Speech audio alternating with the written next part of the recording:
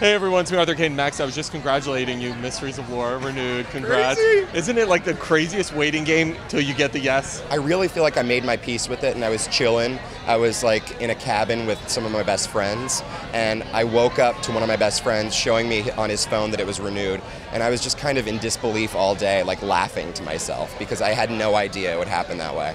I just I I thought our time was over. I thought we, you know, I thought that it had passed the mark where we would get renewed, but You get to work with two brilliant actors, Debra and Josh. Talk I to me about the wealth of the wealth of content there. Well, I've learned everything about how to be a professional actor from Debra Messing. She just like is so effortless in how she carries herself on set, and I like would be a complete hack without her. And me and Josh have a great kind of chemistry in the show because he thinks I'm a total idiot, which my character is at times. And I, I love our kind of our comedy together, and I love my comedy with Debra too. I'm just kind of learning how to do the job from them, you know.